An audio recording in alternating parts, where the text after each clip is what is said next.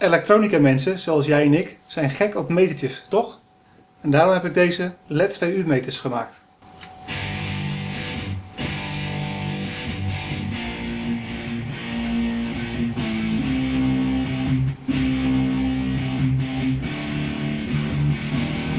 Het zijn natuurlijk allemaal ledjes, maar ik wilde ze wel graag het uiterlijk van een echt draaispoelinstrument meegeven.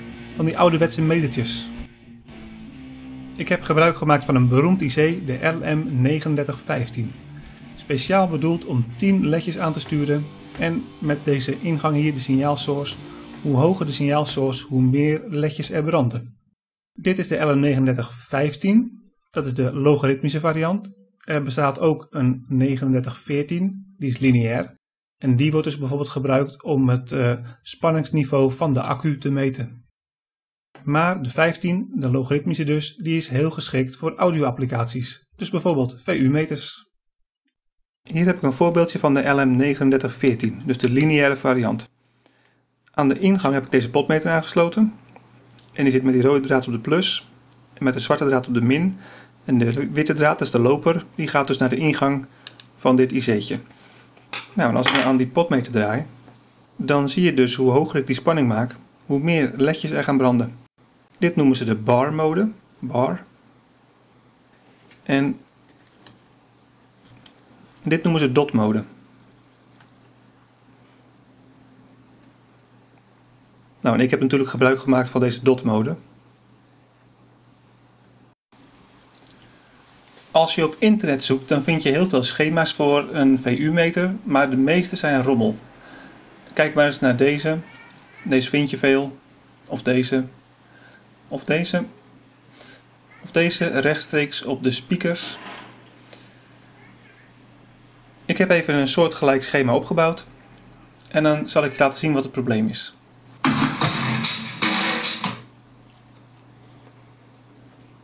Het lijkt wel aardig te werken, maar misschien zie je wel dat de ledjes niet echt uh, overtuigend aan of uit zijn. Ze lijken zeker in de hogere regionen lijken ze een beetje te knipperen.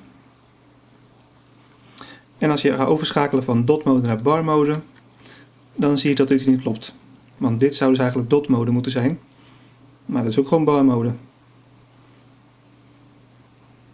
Dus dat klopt niet. Al die slechte schakelingen die bieden namelijk het audiosignaal wat een wisselspanningssignaal is, rechtstreeks aan op het IC. En dat kan natuurlijk niet, want het IC is gemaakt voor gelijkspanning. Dus wat je eigenlijk ziet hier is dat al die ledjes, ook de eerste, die gaat constant aan, uit, aan, uit. Hij knippert heel snel. Ja, en ja, hoe harder het signaal is, hoe meer ledjes te gaan branden, dat klopt nog wel. Maar ze gaan allemaal uh, heel snel aan en uit. Wat je wel moet doen, is eigenlijk eerst hiervoor nog een piekdetector maken. Een piekdetector is een soort uh, een soort gelijkrichter die de pieken van het signaal volgt.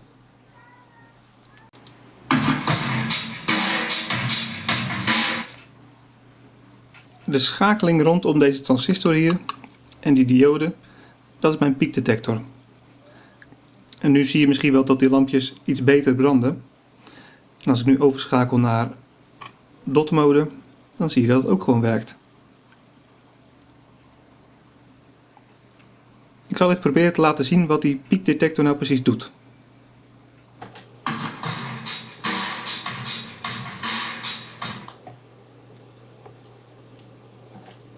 Oké, dat blauwe signaal, dat is dus het muzieksignaal. En dat gele signaal, dat komt uit de piekdetector. Zal ik het blauwe een beetje naar beneden draaien. De blauwe is dus een wisselspanningssignaal en het gele is een gelijkspanningssignaal. Maar het fluctueert natuurlijk wel. Het volgt de pieken van de muziek. En je ziet al dat het een beetje wordt afgevlakt. Dus zoals die eerste piek hier in het blauw, die is heel smal, maar in het geel is die een stuk langer. Dus, dus die dreun van die drums, die eilt een beetje na. Dat wil je graag, want anders wordt het een veel te zenuwachtig metertje. Maar dit is dus het effect van die piekdetector en als je dat aanbiedt aan het IC, dan bied je gelijkspanning aan en dat is dus de bedoeling.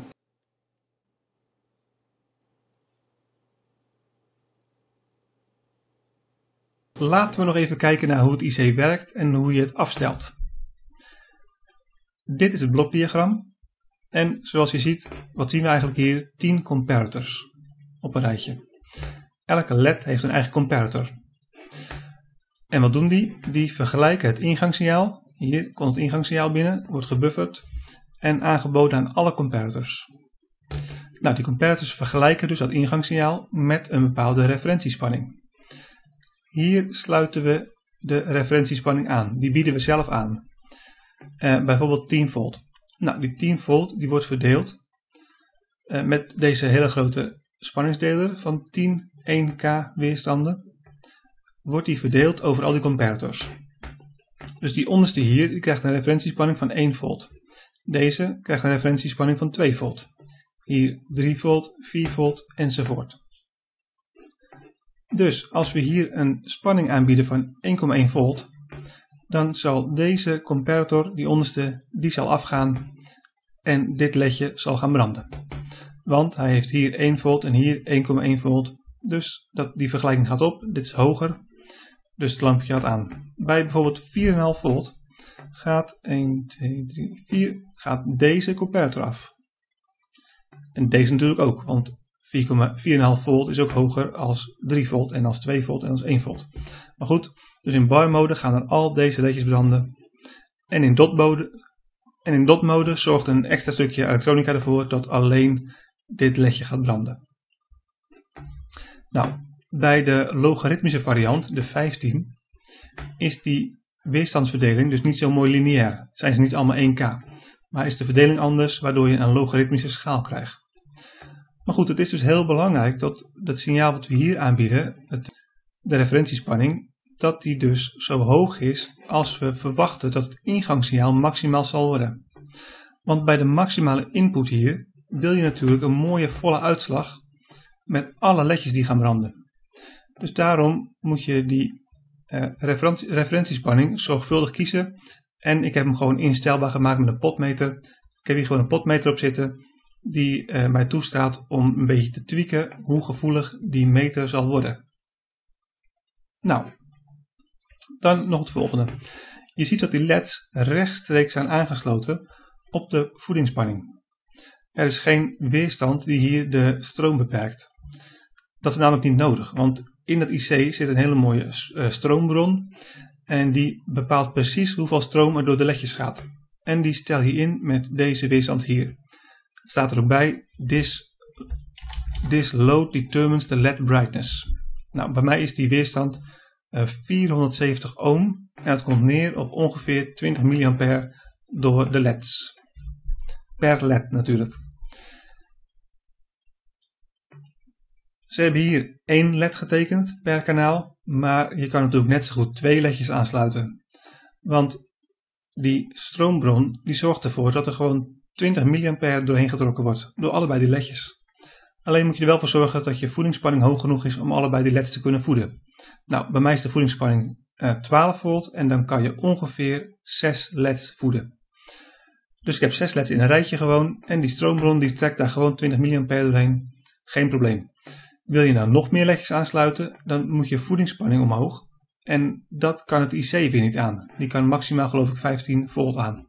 Dus 12 volt met 6 ledjes is een hele mooie waarde. Dit is dus mijn uiteindelijke schema geworden. Nou, hier zien we die uh, gelijkrechter, die piekdetector. Met transistor die het een beetje versterkt. En uh, de diode om gelijk te richten.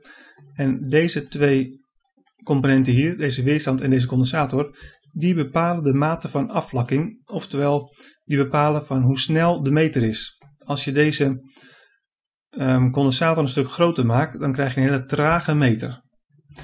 Nou, 470 nano, dus dat vind ik een hele mooie waarde. Krijg je een mooie uh, meter die nog een beetje lekker uh, responsive is. En toch niet al te nerveus. Dan hebben we hier die potmeter, die is voor de afstelling van de referentiespanning. Dus daarmee stel je af tot bij de erg harde geluiden de meter net aan in het rood gaat. En dan heb ik hier nog op pootje 1 zit ook nog die 10k weerstand hier. Dat is een beetje een apart verhaal. Uh, die chips, die, deze chips, die lekken namelijk wel eens stroom uit kanaal 1. En dan blijft dus dat ledje op kanaal 1 constant heel flauw branden. En dat is heel irritant. Maar op mijn breadboard heb ik het niet gezien. En toen ik diezelfde chips uiteindelijk in, op het PCB'tje uh, soldeerde, toen hadden ze het wel. Dus dan heb ik nog deze weerstand toegevoegd, uh, om eigenlijk om het op te lossen. Maar het zat dus niet in mijn eerste ontwerp, maar ik heb het nu natuurlijk wel gelijk erin opgenomen. Nou, dan zitten hier twee connectoren. Eentje is ingang en eentje is uitgang. En dat maakt het eigenlijk mogelijk om die, om die printjes eigenlijk aan elkaar te koppelen. Zodat je een linker en een rechter hebt. Dit is dus het printje wat erbij hoort. Dit is de voorkant. En daar zie je dus dat alle ledjes erop gesoldeerd zitten. En het IC-voetje voor het IC. En alle andere componenten die zitten aan de achterkant. Even kijken, view, swap sides. Kijk, nu kijken we naar de achterkant van het printje. En daarin zit dus die connector, eh, hier de transistor, alle componenten, de diode zitten hier ook. Onder de IC-voet zitten dioden. En nog een paar weerstanden. Dus ik heb eigenlijk zoveel mogelijk componenten aan de achterkant gehouden. Omdat het natuurlijk gewoon uh, mooier is. Nou, en hier zie je dus die connectoren. Hier aan de rand eentje. En hier aan de andere kant eentje. Zodat ze gewoon aan elkaar te koppelen zijn. En dan heb je een linker en een rechter kanaal. Dit zijn dus mijn printjes. En ik heb hier twee aan elkaar gekoppeld. Deze ga ik uiteindelijk gebruiken. En ik heb nog wel wat veranderingen gedaan in het ontwerp. Dit is namelijk het eerste ontwerp wat je net zag. Dat is al het aangepaste ontwerp. Want uh, kijk, je ziet een paar uh, last minute veranderingen. Dit is die weerstand vanwege het lekken. Deze draad hier, die verbindt de twee referentiespanningen aan elkaar. Want die potmeter hier, die stelt dus de referentiespanning af voor dit kanaal. Maar aan deze kant wil je natuurlijk precies dezelfde referentiespanning gebruiken, zodat je hem niet twee keer hoeft af te stellen. Nou, in mijn nieuwste ontwerp wordt dat referentiesignaal gewoon meegegeven in deze connector. En dan hoef je maar op één van de twee een potmeter te gebruiken. Nou, die potmeter die gaat er zo meteen weer af, want die komt op het kastje aan de achterkant. Hier zit die connector die alles aan elkaar verbindt. En die schuine verbinding die is in mijn nieuwe ontwerp ook niet meer nodig. Dan kan alles gewoon één op één verbonden worden. Dat heeft namelijk te maken met het volgende. Hier komt alles binnen, links en rechts. Het linkerkanaal wordt hier gebruikt. En alles wordt doorgegeven naar deze kant. En deze kant moet natuurlijk het rechterkanaal gaan gebruiken. Maar als je het zo één op één aansluit, gebruikt hij ook het linkerkanaal. Dus daarom is die uh, schuine verbinding gemaakt. Maar in het nieuwe ontwerp heb ik natuurlijk gewoon die printspoortjes omgedraaid. En dan kan je alles één op één doorverbinden en dan gebruikt deze automatisch het andere kanaal als deze. Dus is deze links en die is rechts. Nou, toen heb ik ook nog een behuizing gemaakt voor dat hele spulletje.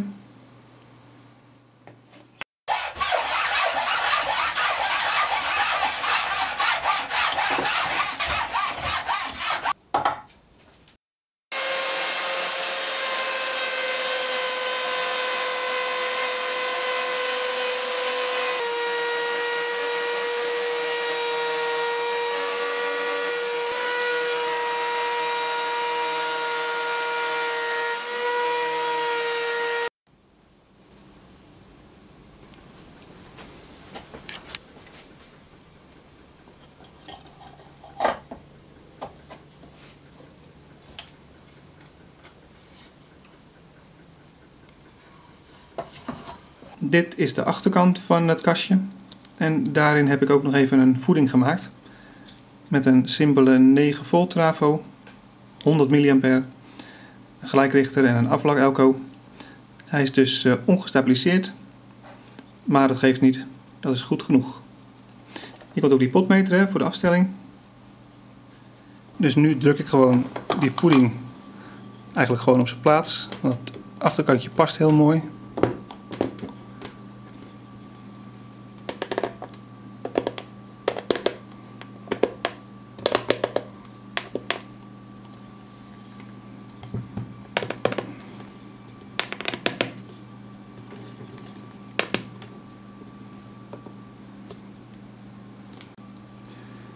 Zo, het printje zit erin gelijmd en ook het glaasje zit er met een paar druppeltjes epoxylijm gewoon volgeplakt.